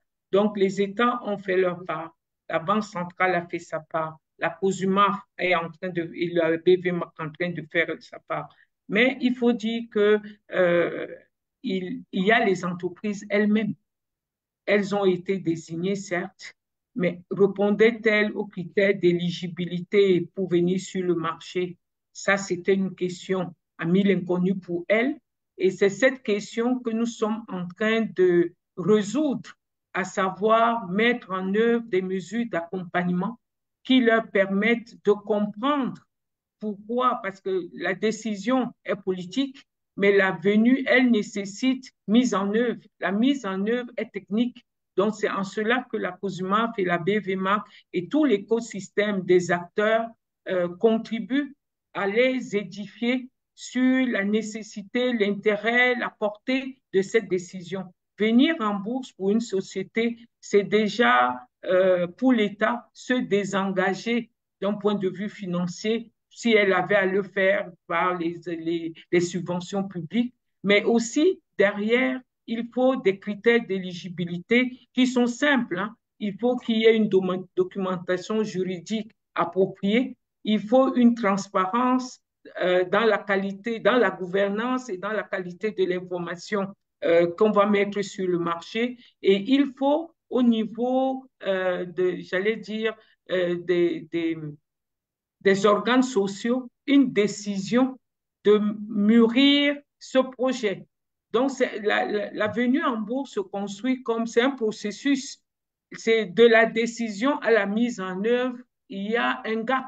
Et c'est ce gap-là que nous cherchons à combler au travers de la sensibilisation, de l'accompagnement, de, de, plusieurs actions vis-à-vis -à, -vis à la fois de l'État actionnaire qui est appelé ou amené à définir sa politique euh, d'action, euh, sa politique actionnariale. Et pour que ce, ces entreprises-là comprennent, bien le bien fondé de leur venue sur le marché. Donc, le processus est en cours, pour résumer, et c'est vrai que euh, pour nous, il avance à grands pas. Pour ceux qui nous écoutent, ça tarde parce qu'il y a quand même un délai qui est observé, mais il y a toujours une volonté politique marquée et il y a au niveau des entreprises aussi qui ont été désignées, ils ont compris la fermeté de, de leur État respectif d'apporter ces entreprises en, bourse. C'est un signal fort puisque ces entreprises, si on venait à les euh, euh, nommer, participent des différents secteurs stratégiques de l'économie de la CEMAC. Vous y trouverez bien sûr des institutions financières, euh, des entreprises industrielles, des entreprises portuaires, des entreprises de télécom. C'est dit que les États ont été, euh, de par leur sagesse euh, avérée, ont été très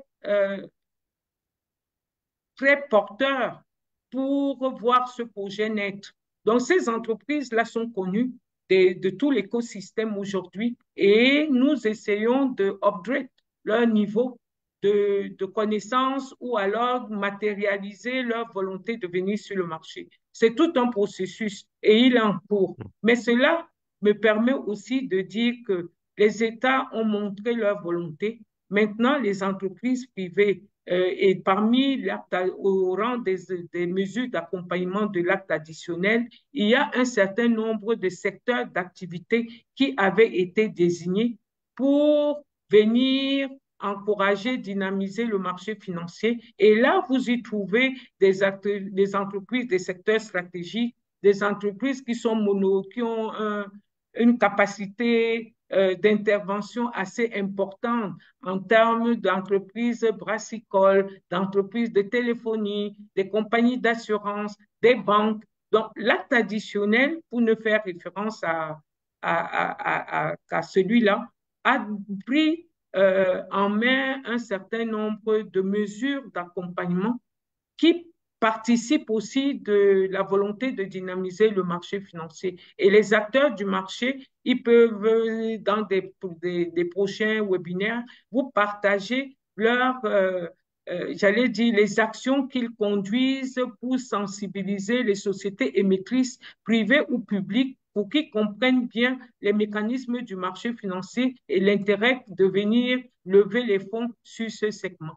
Voilà ce que je peux dire. Pour la diaspora, bien sûr que c'est une orientation très porteuse pour tout marché financier parce qu'ils ils ont des ressources qui peuvent favoriser le financement et la croissance dans nos pays. Et il nous revient en tant que régulateur de, de, de les sensibiliser pour qu'il y ait davantage leur contribution ou leur participation au, aux, investissements qui sont faits par le canal du marché financier. Et puis, pour le jeune homme qui s'interroge de comment connaître le marché financier au Gabon, euh, le directeur général de la BVMAC a bien entendu apporté des éléments de réponse. Aujourd'hui, bien sûr, il y a le régulateur au Gabon à Libreville, mais il y a aussi des acteurs, euh, des sociétés de bourse et des sociétés de gestion d'OPC qui ont pignon sur rue. Et pour faire simple pour, cette, pour ce participant, il vient à la COSMAP et on lui donne la liste des différents acteurs. Et s'il a des questions complémentaires, on va se faire le plaisir euh, d'y répondre. Merci. Merci, Madame le Président. Malheureusement, on n'a plus beaucoup de temps pour répondre à toutes les questions. On va juste en prendre une dernière. Euh, on a beaucoup parlé de culture, euh, de culture financière et, culture boursière. Il y a une question de Yann qui, qui dit quid des formations spécifiques professionnalisantes adaptées pour contribuer à une meilleure culture du secteur. Donc, ceux qui sont déjà dans le secteur financier, euh, est-ce qu'il y a des, des, mécanismes qui sont prévus pour eux? Euh, je vais euh, peut-être laisser la parole à, à, Madame le Président ou à Monsieur Mangatolo sur ce point-là. Alors, pour puis des formations professionnalisantes en matière de finances de marché, parce que c'est seulement sur ce domaine-là que la COSUMAF intervient. Les instruments de, les instruments du marché financier, la diversification des instruments et autres. Aujourd'hui, au travers des, des, semaines de l'investisseur, euh, la COSUMA a très souvent euh, permis à la jeune, aux étudiants et autres, d'avoir accès à des stages dans les sociétés auprès des intermédiaires de marché pour euh, acquérir une professionnalisation de leur cursus, vu qu'on suppose que le minimum requis, à savoir les, certifications ou les diplômes euh, soumises à cette euh, professionnalisation ont été respectés. Et en 2024, la COSUMA a également lancé un chantier parce que notre volonté est de créer un écosystème en termes de capital humain Aujourd'hui, comme l'a dit le directeur général de la bourse, la COSUMAF a presque 90 intermédiaires agréés et intervenants sur le marché financier. Et cette population qui approche la centaine couvre presque 300 employés. Ça signifie que le secteur commence à se construire. Et en cela, il était essentiel pour le régulateur de donner une direction. La direction qui a été donnée, c'est d'offrir des stages euh, de six mois et de manière mhm. à ce que la jeune génération puisse se professionnaliser et de construire un écosystème de, de, d'intervenants ou d'acteurs ou d'employés de ce secteur qui sont sensibles à la régulation et à ses principes. Et la bourse a également lancé ou offert pendant les semaines de, de l'investisseur des stages professionnels à, aux étudiants. Les acteurs des sociétés de bourse et les sociétés de gestion euh, collective ont, en ont fait de même. C'est dit que nous avons le ceci au-delà de dynamiser le marché, d'apporter euh, des instruments de financement adoptés, adaptés ou des instruments d'investissement adaptés, de construire un capital humain dédié à notre secteur, à, je veux dire, de manière à ce que dans un terme moyen ou long, d'avoir des spécialistes euh, à tous les niveaux d'échelle permettant de, de dynamiser le secteur donc, il n'y a pas que les instruments financiers, mhm. il y a aussi le capital humain qui est en train d'être euh, mis en, en, en, œuvre. Et à cela, tous les, euh, en 2025, on va reproduire encore le même schéma pour euh, de plus en plus répondre aux attentes des étudiants en, recherche de professionnalisation. Voilà ce que je peux dire à ce niveau. Bien entendu, on espère qu'on euh, va signer des conventions avec les universités pour euh, que des programmes de, de, de, formation dédiés à la finance de marché soient mis en œuvre pour enrichir l'écosystème. Mmh. Parce que l'écosystème, c'est tout un ensemble d'intervenants, de parties prenantes. La, la COSUMAF est très sensible à cette démarche-là et nous allons l'impulser auprès de différents États de la CIMAC de manière à ce qu'on construise aussi le capital humain orienté marché financier. Merci. Merci, Madame le Président. Euh, Monsieur Morgatolo, vous voulez rajouter quelque chose sur ce point avant le mot de la fin de, de Madame le Président? On est largement euh, au-dessus des temps impartis. Voilà, juste peut-être pour assurer aussi euh, les internautes que dans l'émission de la, de la BVMAC, nous devons déployer euh, un instrument qu'on appelle l'école de la bourse. Et euh, cet instrument va s'adresser d'abord euh, aux professionnels qui sont déjà dans les, entités agréées, mais également va s'étendre à des étudiants et à du public de manière générale. Et ils seront informés. D'accord, bien reçu, monsieur le directeur général. Donc, on va passer au mot de la fin pour conclure. Euh, Madame le président de la cause du MAF, euh, nous vous laissons conclure euh, le débat et nous repasserons la, la, la parole à One Africa.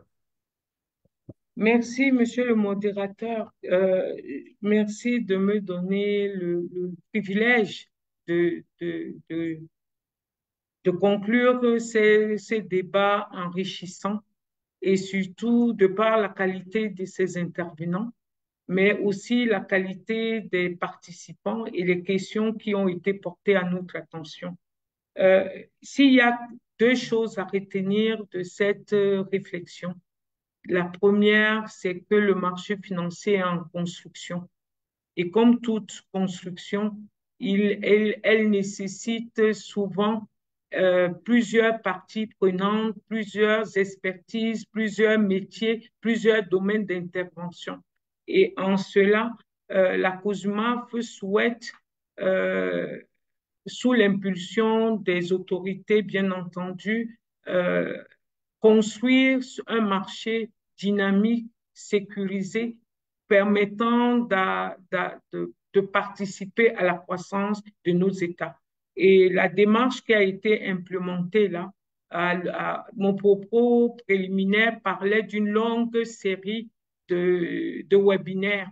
En fait, le projet est construit autour de six webinaires par État sur la période de novembre à avril 2025. 25, oui, euh, chaque pays va bénéficier de webinaires pour euh, discuter sur des thématiques et des sujets d'intérêt tournant autour du marché financier, de son développement, de ses défis et surtout de son éclosion tant attendue. La, la, deuxième chose que je pourrais dire dans ce mot de clôture, tout le monde en a parlé, la nécessité d'une éducation financière qui permette à toutes les parties prenantes de sensibiliser, de, euh, de toucher le plus grand nombre. Parce que tout, il y a beaucoup de financiers dans la zone CEMAC, mais peut-être peu de financiers spécialisés en finance de marché. Donc, euh, l'idée aujourd'hui, c'est d'adresser à chaque type de public, entreprise publique et privée, des, des, des messages forts qui leur permettent dans leur choix de financement et d'investissement de garder à l'esprit que le véhicule ou les véhicules que euh, le marché financier a mis à, leur disposition. On souhaiterait faire la même chose pour élargir la base des investisseurs, que ce soit les investisseurs euh, euh institutionnels ou les investisseurs grand public. Et tout cela va contribuer certainement ou vraisemblablement à, développer euh, l'instrument marché financier. Voilà, et pour conclure, merci. Merci est le plus grand mot que je peux adresser à la fois à One Africa, à la fois aux modérateurs et à la fois aux participants et bien sûr à tous les experts qui ont bien pu accepter de prendre de leur temps pour participer à ce projet. Merci.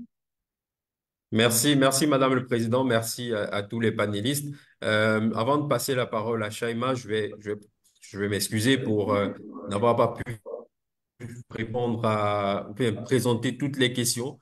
Euh, je pense qu'il y aura d'autres thèmes, d'autres sujets. Ce sera l'occasion de vous connecter sur, sur les autres panels pour pouvoir poser des questions qui me semblent être pas trop ciblées sur, sur le Gabon, mais auxquelles les autres panels pourraient répondre. Aussi, on voit bien qu'il y a le docteur Guadok qui est là, qui a levé la main. Malheureusement, on n'a plus suffisamment de temps pour répondre à toutes les questions, donc on le salue et puis euh, Shaima, merci et je te laisse la parole.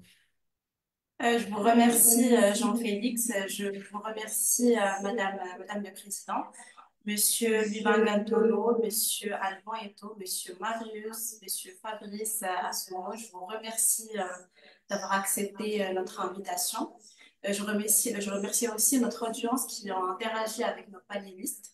Alors, comme euh, bah, je, vous rappelle qu'il s'agit d'une série de webconférences et on vous donne rendez-vous demain, le 12 novembre, pour le COSUMA Focus, cette fois Cameroun, sous le thème Cameroun, dynamique économique et opportunités des marchés financiers.